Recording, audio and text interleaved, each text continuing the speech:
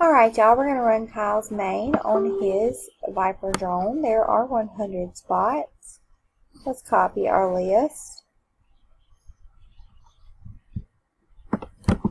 And go live. Somewhere down here. At 8.54. It is 8.54. Let's paste our list. We have 100 spots, so let's roll up it slowly so everybody can see their names.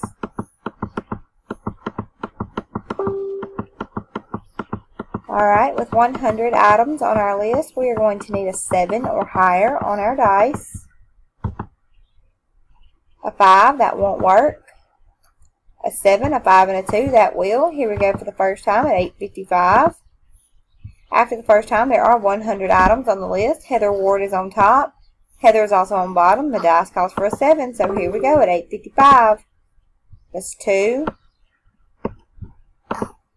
3, 4, 5, 6. After the sixth time, there are 100 items on the list. Heather is on top. Gianna is on bottom. We've randomized six times. Dice calls for a seven. Here we go for the last time at 8.55. Good luck, y'all. Alright, after the last time, spot number 59, Heather Ward, you are the winner. Congratulations. There were 100 items on the list. Here are all 100 items.